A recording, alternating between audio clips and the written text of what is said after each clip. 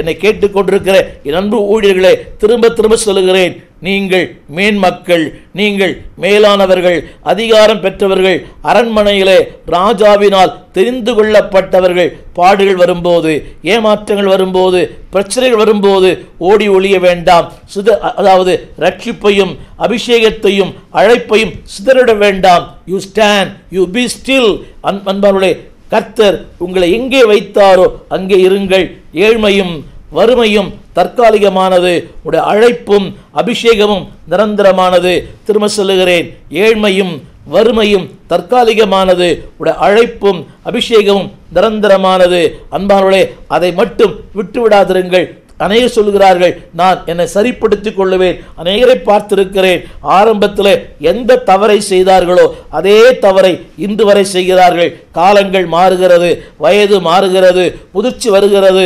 வாழ்க்கையில் இன்னும் அவர்கள் பக்குவமடையாமல் இருக்கிறார்கள். அன்பு ஊழியர்களே காரணம் என்னவென்றால் தன் மேன்மை புரியவில்லை தன்னுடைய அழைப்பு புரியவில்லை. யார் இவர்கள்? ராஜாவினால் தெரிந்து கொள்ளப்பட்டவர்கள். ஆனால் தெரிந்து கொள்ளப்பட்ட மக்களுக்கு என்ன இல்லையாம்? ஒன்று சாமுவேல் பதிமூன்றாம் அதிகாரம் ஒருவர் கையிலும் பட்டயமும் இல்லை ஈட்டியும் இல்லை. அவருடைய அர்த்தம் என்னவென்றால் வார்த்தையும் இல்லை வசனமும் இல்லை அபிஷேகம் இல்லை. அந்த வசனம் சொல்லுகிறேன் அவர்கள் வாயில் கர்த்தரை உயர்த்தும் துதி அவர்கள் கையில் இருபுறமும் கருக்குள்ள பட்டயம் எதை சொல்லுகிறது? வசனத்தை சொல்லுகிறது. இன்றைக்கு வசனத்தை தியானிக்கிற ஊழிகள் மிக குறைவு. அன்பானுடைய வசனத்தை வாசிக்க வாசிக்க வேதத்தின் ஆழங்களுக்குள்ளே நீங்கள் செல்ல செல்ல உங்கள் வாழ்க்கையில் இருள் அகலும் பாவங்கள் மாறும். திரும்ப சொல்லுகிறேன் இன்றைக்கு மக்களுக்கு அறிவு இருக்கிறது. அறிவு இருமாப்பை உண்டு பண்ணும் ஞானம் தாழ்மை உண்டு பண்ணும். திரும்ப சொல்லுகிறேன் அறிவு that shows that I knows everything ஆனால் விஸ்டம் அது சொல்லுகிறது still I have to know more திரும்ப சொல்லுகிறேன் ஞானம் சொல்லுகிறது நான் இன்னும் அறிய வேண்டிய பிரகாரமாய் ஒன்றும் அறியவில்லை. அறிவு சொல்லுகிறது எனக்கு எல்லாம் தெரியும். உங்களுக்கு புரியும் நினைக்கிறேன். அறிவு சொல்லுவது எனக்கு எல்லாம் தெரியும். எனக்கு தெரியாத ஒன்றுமில்லை. ஞானத்தை பெற்றோர் சொல்லுவார்கள் still I want to know more இன்னும் அறிய வேண்டிய ஏராளம் உண்டு. பவுலடியான் சொல்லுகிறான் மிகப்பெரிய படித்தவர் அன்பார்களே கமாலியின் பாதத்திலே கற்று தெரிந்தவர் சொல்லுகிறார். நான் குறைந்த அறிவுள்ளவன். எத்தனை பெரிய வாழ் இத்தனை பெரிய தாழ்மை பாருங்கள். ஞானமுள்ளவனுக்கு தாழ்மை இருக்கும் அறிவுள்ளவனுக்கு பெருமை இருக்கும். இன்றைக்கு அநேக ஊழலுக்குள்ளே பார்க்கிறேன் ஜனத்தினால் ஒரு பெருமை பணத்தினால் ஒரு பெருமை பதவியினால் ஒரு பெருமை பட்டத்தால் ஒரு பெருமை. இல்லை என்பாமலே பணம் தராத பதவி தராத பட்டங்கள் தராத ஒன்றை அபிஷேகம் தரும். பலத்தினாலும் அல்ல பராக்கிரமத்தினாலும் அல்ல அவருடைய ஆவியினாலே எல்லாமாகும். அதை மாற்றி சொல்லுவேனேயானால் பணத்தினாலும் அல்ல பட்டத்தினாலும் அல்ல உங்கள் பெயராலும் அல்ல அன்பாருடைய உங்களுடைய தாழ்மையினாலே தேவனோடு இருக்கிற அந்த உறவினாலே திரும்ப சொல்லுகிறேன். நூற்றி நாற்பத்தி ஒன்பதாம் சங்கீதம் அந்த வார்த்தை இப்படி சொல்கிறது கர்த்தரை உயர்த்தும் துதி. திரும்ப திரும்ப சொல்லுகிறேன் கர்த்தரை உயர்த்தும் துதி. கர்த்தரை உயர்த்தும் போது கட்டாயம் கர்த்தர் உங்களை உயர்த்துவார். அவரை உயர்த்த உயர்த்த நீங்கள் உயர்த்தப்படுவீர்கள். திருமறையிலே இந்த வார்த்தை எப்படி சொல்லுகிறது?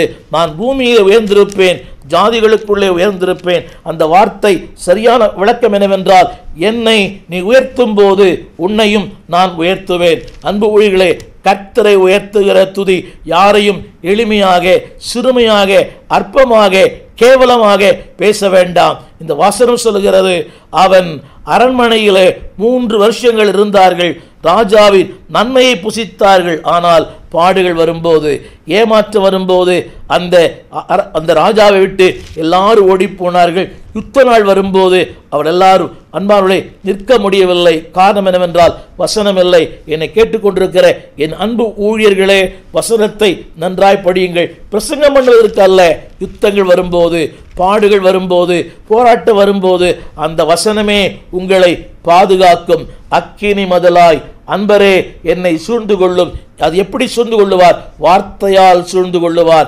அபிஷேகத்தினால் சூழ்ந்து கொள்ளுவார் அவருடைய கிருபையினால் சூழ்ந்து கொள்ளுவார் அவருடைய தயவால் உங்களை சூழ்ந்து கொள்ளுவார் எப்படி தெரியுமா? வார்த்தைக்கு நீங்கள் சொந்தக்காரராய் மாறும்போது இன்றைக்கு அநேக ஊழியர் கூடுகைக்கு பார்க்கிறேன். வார்த்தை நேசிக்கிற மக்கள் குறைவு. வார்த்தை வார்த்தைக்குள்ளே தங்கள் அர்ப்பணித்து கொண்ட மக்கள் குறைவு. இன்றைக்கு அறிவிருக்கிறது ஆரம்பத்தில் சொன்னேனே அறிவு பெருமையை தரும் ஞானம் தாழ்மையை தரும். அறிவு எனக்கு எல்லாம் தெரியும் என்று சொல்லும் ஞானம் எனக்கு ஒன்றும் தெரியாது என்று சொல்லும். நீங்கள் எந்த கூட்டத்தை சார்ந்தவர்கள்? அன்பார்களே கடைசியாக ஒன்று சொல்லி முடிக்க விரும்புகிறேன். அது சொல்லுகிறது ஒருவருக்கும் பட்டயம் இல்லை ஒருவனுக்கும் ஈட்டி இல்லை. அப்படியானால் இத்தனை வருஷங்கள் வாழ்ந்தார்களே எதை கற்றுக்கொண்டார்கள்? வார்த்தை இல்லை திரும்ப சொல்கிறேன் வார்த்தையினாலே அவர்கள் சத்துருக்களை ஜெயித்தார்கள். வார்த்தையினாலே வச- சொல்கிறது அவர்கள் சா- உலகத்தை ஜெயித்தார்கள். வார்த்தையினாலே இந்த இந்த நாளிலே என்னை கேட்டுக்கொண்டிருக்கிற என் அன்பு ஊழியர்களே உங்கள் நெருக்கங்கள் உங்கள் பாடுகள் உங்கள் போராட்டங்கள் உங்களுடைய முட்கள் கொஞ்ச காலம். ஆனால் நீங்கள் யார் தெரியுமா? தேவனால் அழைக்கப்பட்டவர்கள். திரும்ப சொல்கிறேன் ஒன்று சாமுவேல் பதிமூன்றாம் அதிகாரம். ராஜா அவர்களை மூவாயிரம் பேரை தெரிந்து கொண்டார். ஆனால் அந்த மூவாயிரம் பேருமே சிதறி போனார்கள் ஒளிந்து கொண்டார்கள் ஒன்றுமில்லாமற் போனார்கள். இந்த நாளிலே அன்பானவர்களே உன் வாழ்க்கையிலே அந்த சரியான ஒரு தீர்மானம் திரும்ப சொல்லுகிறேன். Your decision determines your destiny உங்கள் தீர்மானம் நான் தேவனால் அழைக்கப்பட்டவன் தேவனால் தெரிந்து கொள்ளப்பட்டவன் பாதை தவற மாட்டேன் பாதை மாறி போக மாட்டேன். அன்பானுளே இன்றைக்கு ஒரு காணல் நீரை நோக்கி ஓடுகிற மக்கள் ஏராளம். அது கவர்ச்சியாக இருக்கும் ஆனால் அது காணல் நீர். அது ஒன்றை சொல்லும் ஆனால் அது கடைசியே பார்த்தா அது பொய் சொல்லும். ஆனால் வசனம் பொய் சொல்லாது. அது அது தாம தாமதமாய் இருந்தாலும் நிச்சயமாய் நடக்கும். ரெண்டு மூன்று காரணம் சொல்லுகிறேன். Number one failure in decision தீர்மானத்திலே தோல்வி.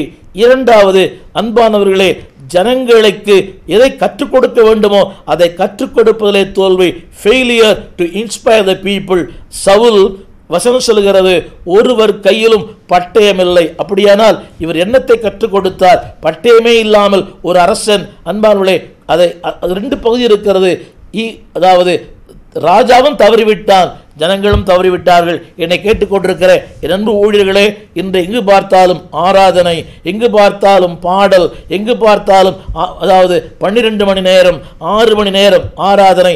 நல்லது அன்பு ஊழியர்களே உங்கள் விசுவாசிகளை வசனத்திலே பயிற்சிவியுங்கள் வசனத்திலே தேர்வுகளாய் அவர்களை மாற்றுங்கள். அவர்கள் வசனத்திலே தேர்வாய் மாற வேண்டுமானால் நீங்கள் வசனத்திலே தேர வேண்டும். இன்றைக்கு நான் தவறாய் சொல்லவில்லை. ஆராதனை வீரர்களுக்கு இருக்கிற அந்த ஒரு கவர்ச்சியும் புகழ்ச்சியும் இன்றைக்கு வசனத்தை பேசுகிற ஊழியர்களுக்கு இல்லை. திரும்ப சொல்லுகிறேன் ஆராதனையை பேச நடத்துகிற ஊழலுக்கு இருக்கிற புகழ்ச்சியும் கவர்ச்சியும் மேன்மையும் மதிப்பும் வசனத்தை பேசுகிற ஊழியர்களுக்கு இல்லை.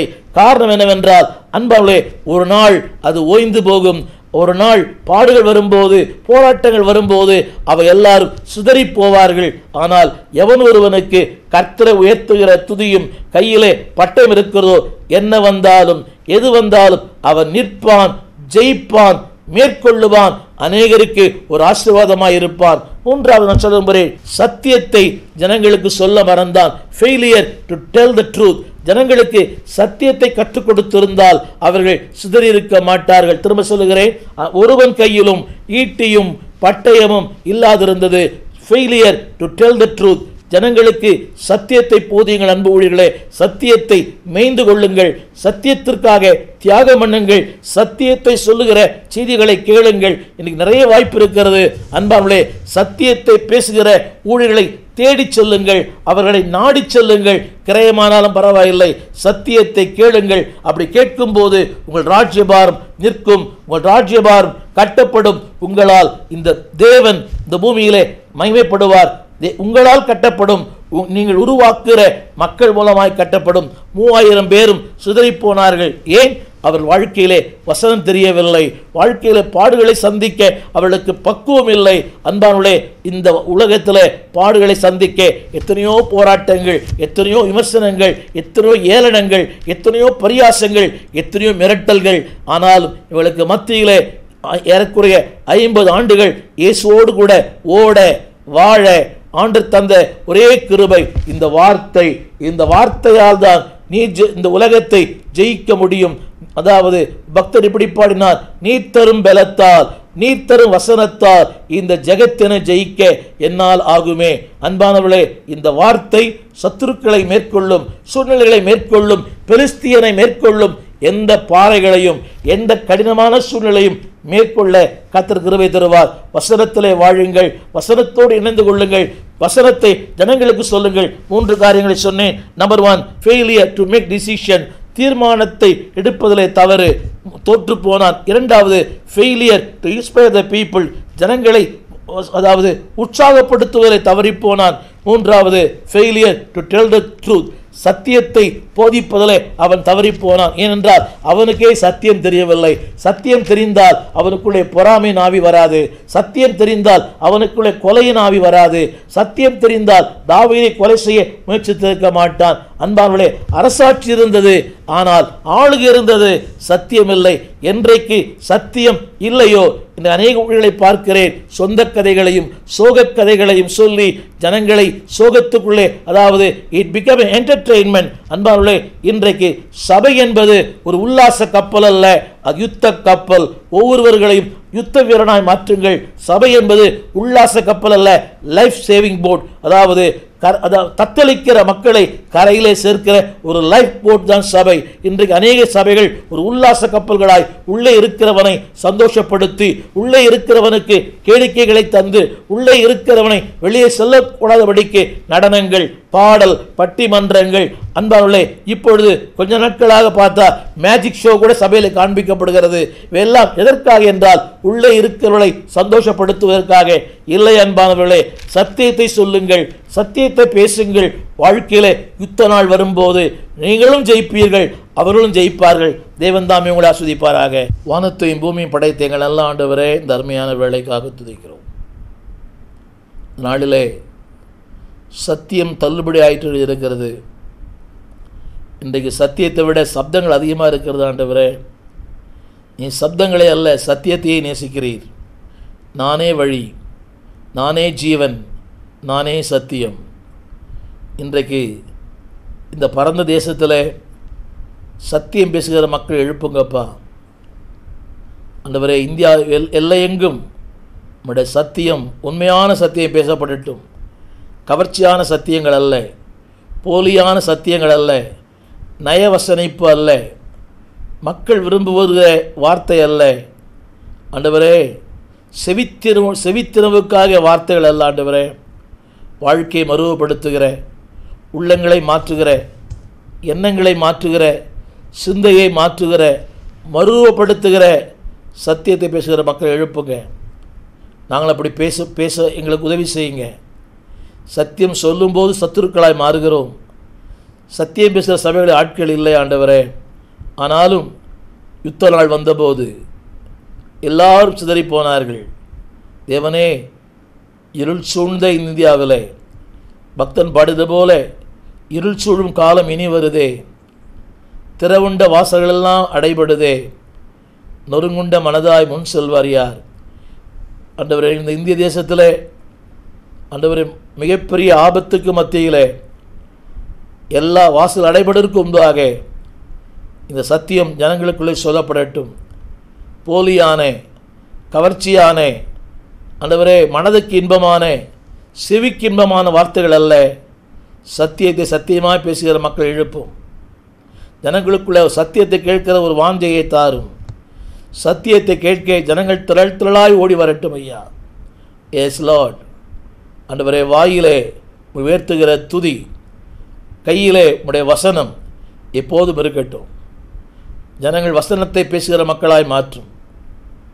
அதிகாலை எழுந்து நான் சத்தமிட்டேன் வார்த்தையை பேசினேன்னு சொல்லுகிற அந்த சங்கீதக்காரனை போல அதிகாலையில் வசனத்தை பேசுகிற பிள்ளைகளாய் மாற்றும். வசனத்தை பேசுகிற சபைகளை எழுப்புங்க ஆண்டவரே. ஊழியர்களை எழுப்பும். இயேசுவின் நல்ல நாமத்தில் எங்கள் நல்ல பிதாவே. ஆமேன். வசனத்தை பேசுங்கள் வசனத்தோடு வாழுங்கள் காலத்தால் அழிக்கப்பட மாட்டீர்கள். ஆமே எங்கள் விலாசம் போதகர் ஸ்டீஃபன் தேவகுமார் திறந்த வாசல் சபை அறுபத்தி ஐந்து பரமானந்த முதலி தெரு ஏழு கிணறு சென்னை ஆறு பூஜ்ஜியம் பூஜ்ஜியம் பூஜ்ஜியம் பூஜ்ஜியம் ஒன்று. எங்களுடைய தொலைபேசி எண் இரண்டு ஐந்து இரண்டு எட்டு ஒன்று ஒன்பது எட்டு ஐந்து.